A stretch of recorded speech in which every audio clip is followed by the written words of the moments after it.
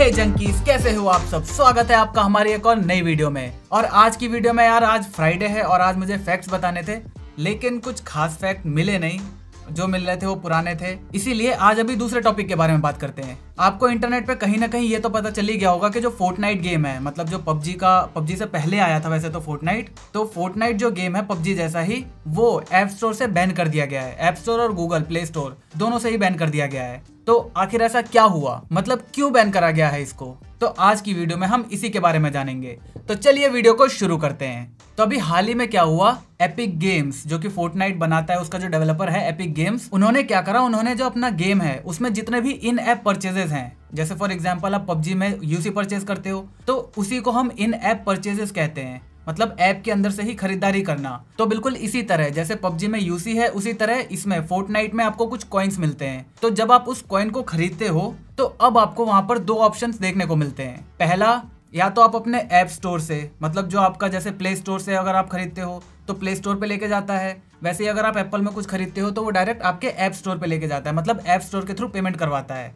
तो उसने क्या करा? दो मेथड डाल दिए पेमेंट करने के। पहला ऐप स्टोर या गूगल प्ले के थ्रू और दूसरा डायरेक्ट पेमेंट मतलब कि डायरेक्ट आप सीधा एपिक गेम्स को पेमेंट करो। मतलब अपनी डिटेल्स वगैरह कार्ड वार्ड की डिटेल डाल के या पेपल वगैरह, जो भी मेथड है, उससे आप डायरेक्ट एपिक गेम्स को पेमेंट कर दो। तो ये दो पेमेंट ऑप्शन रख दिए उसने। तो अब दिक्कत क्या हुई? जितने भी पैसे आप ऐप के अंदर खर्च करते हो तो उसका तीस परसेंट जो है, वो एप्पल या गूगल वो अपने पास रखता है। फॉर एग्ज़ाम्पल जैसे आपने पबजी में सौ रुपए की यूसी खरीदी तो अब होगा क्या? सत्तर रुपए तो जाएँगे आपके पबजी वालों के पास और तीस रुपए अगर आप एंड्रॉइड से खरीद रहे हो तो गूगल के पास जाएगा, अगर आप आईफोन में खरीद रहे हो तो एप्पल के पास जाएगा। तो ये कुछ पॉलिसी है एप्पल की और प्ले स्टोर की कि भैया तीस परसेंट हम रखेंगे। अब यहाँ पर अगर आप ये सोच रहे हो ना कि जैसे पबजी में क्या होता है, पबजी में भी जो कट होता है वो हम कैंसिल कर सकते हैं गूगल का। कैसे? अगर हम मिडास बाई से कुछ भी यूसी बाई करते हैं तो वो डायरेक्ट मिडास बाई पबजी से कनेक्ट करता है और पबजी वाले हमारे अकाउंट में डायरेक्ट पैसा भेज देते हैं डायरेक्ट यूसी भेज देते हैं। तो इसमें जो है, इसमें भी गूगल का कट खत्म हो जाता है। लेकिन यहाँ पर ये चीज़ अलग है, क्योंकि जैसा कि मैंने आपको बताया कि ये जो प्राइवेसी वाला सिस्टम है कि भैया हमारे यूज़र की गारंटी हमारे ऊपर है। तो अब जैसे मिडास बाई से कोई भी गड़बड़ हो जाती है तो उसमें मिडास बाई की गलती रहेगी। जो यूज़र है, वो गूगल का कुछ भी नहीं कर पाएगा। वो सीधा का सीधा मिडास बाई पे जाकर उसके कॉलर पकड़ेगा कि भैया तुम्हारी वजह से हमारी पेमेंट डिटेल्स लीक हुई है और सारी गलती तुम्हारी है। तो इसमें गूगल और एप्पल ये बीच में नहीं आएँगे। इसीलिए ये चीज़ अलग है। अब इसने क्या करा कि भैया इसने डेस्कटॉप वालों को तो बोल दिया कि हाँ हम आपको 20 परसेंट का वो दे रहे हैं, क्योंकि विंडो वगैरह ऐसा कुछ नहीं करता। वो अपना कोई भी शेयर नहीं रखता। अगर आप इन ऐप परचेजेस करते हो विंडो के गेम्स में मतलब जो पीसी के लिए गेम्स होते हैं, उसमें कुछ भी खरीदोगे तो विंडो मतलब माइक्रोसॉफ्ट अपना कुछ भी नहीं रखेगा। तो उसने क्या करा, भैया, बीस परसेंट का डिस्काउंट दे दिया कि तुम जो भी खरीद रहे हो उसमें बीस परसेंट का डिस्काउंट है। जाओ, मज़े लो। तब मोबाइल वालों ने क्या करा कि, भाई, ये तो गलत बात है तुम्हारी। तुम जो है कंप्यूटर वाला गेम है, उसके लिए तो तुम डिस्काउंट दे रहे हो। हम मोबाइल वाले, हम, हमारे में क्या गलती है? हमें भी दो, हमें भी चाहिए। तो अब इसने क्या कहा कि, भैया, देखो, ऐसा तो हो नहीं सकता, क्योंकि वहाँ पे तो हमें किसी को कोई कट देना नहीं पड़ता। यहाँ पे हमें तीस परसेंट देना पड़ता है। लेकिन फिर इसके बाद एपिक की टीम ने सोचा कि, यार, कुछ करते हैं। कुछ करते हैं, देखते हैं। तो इन्होंने क्या करा? इन्होंने अपना एक अपडेट पुश कर दिया कि भैया, अब तुम डायरेक्ट अगर उससे पे करते हो हमें डायरेक्ट बीच में किसी का कट नहीं लेना डायरेक्ट हमें पे कर दो तो हम आपको डिस्काउंट देने को तैयार हैं। लेकिन अब ये चीज़ एप्पल को पसंद नहीं आई कि भैया, ऐसे कैसे? हमारा तो नुकसान कर रहे हो तुम। तो इसी वजह से एप्पल ने थोड़े ही टाइम बाद फोर्टनाइट को अपने प्ले स्टोर से मतलब अपने ऐप स्टोर से हटा दिया। और उसके कुछ देर बाद गूगल ने भी यही काम करा, क्योंकि एंड्रॉइड में भी ये अपडेट आ गया था। वहाँ पे भी डायरेक्ट पेमेंट का ऑप्शन आ गया था। तो इसीलिए प्ले स्टोर से भी इसे हटा दिया गया। तो इस वक्त, इस रिकॉर्डिंग के टाइम तक फोर्टनाइट ना तो आपको आईओएस में देखने को मिलेगा और ना ही प्ले स्टोर पे देखने को मिलेगा। जिसके अंदर ये बैन नहीं हुआ है। देखो बैन एक अलग चीज़ है और प्ले स्टोर से हटना एक अलग चीज़ है।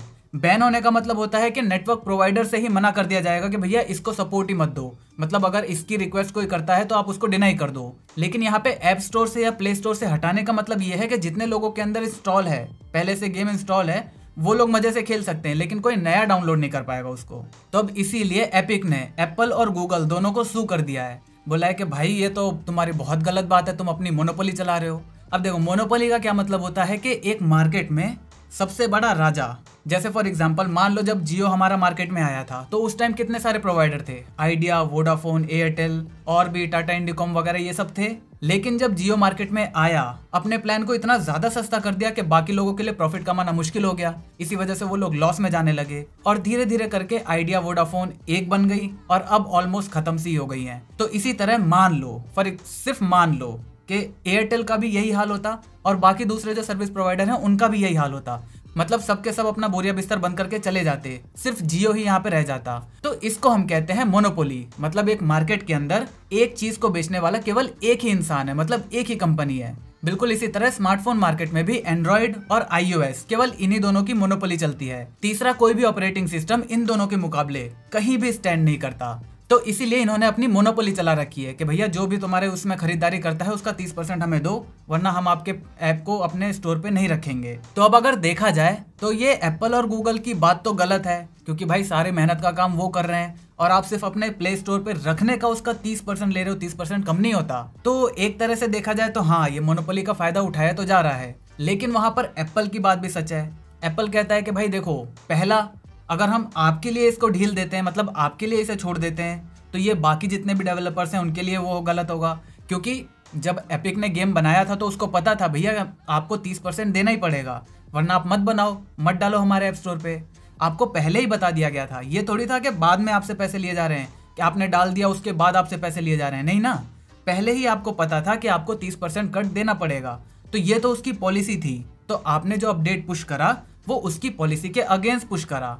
तो पहली बात तो ये यहीं पर गलत हो जाती है। दूसरा एप्पल ये कहता है कि, भाई देखो, अगर तुम डायरेक्ट पेमेंट लेते हो तो उससे तुम कितनी अच्छी सिक्योरिटी दे रहे हो पेमेंट गेटवे को? ये हम कैसे बता सकते हैं? भैया, तुम तो डायरेक्ट अपना यूज़र से डायरेक्ट अपनी कंपनी में पेमेंट करवा रहे हो। तो यूज़र जो है, अगर कुछ गलत होता है, वो तो एप्पल का कॉलर पकड़ेगा ना? कि भैया, मैं तुम्हारा फ़ोन यूज़ कर रहा था। कैसे मेरी चीज़ें मतलब लीक हो गई, कैसे दिक्कतें हो गई, कैसे मेरा डाटा लीक हो गया? तो इसीलिए एप्पल का कहना है कि यूज़र की सेफ्टी के लिए एप्पल और गूगल दोनों का यही कहना है कि यूज़र की सेफ्टी के लिए हमें जो भी पेमेंट तुम्हें करवानी है, वो हमारे थ्रू करवाओ। हम सारी चीज़ों को मॉनिटर करेंगे। हम जो यूज़र है, उसकी सेफ्टी की गारंटी लेते हैं। आप गारंटी नहीं लेते। इसीलिए जो भी आपको पेमेंट करवानी है, हमारे थ्रू करवाओ। और इसीलिए जो हम सर्विस दे रहे हैं सिक्योरिटी का, उसका तीस परसेंट हम लेते हैं। तो कुल मिलाकर देखा जाए तो यहाँ पर कुछ कुछ बातें दोनों की ही सही है और कुछ कुछ बातें दोनों की गलत हैं। अगर ये चार्जेस तीस परसेंट न होकर पंद्रह परसेंट, बारह परसेंट, दस परसेंट के आसपास होते तो तो ये चीज़ें बिल्कुल सही थी। मतलब हाँ ठीक था। मतलब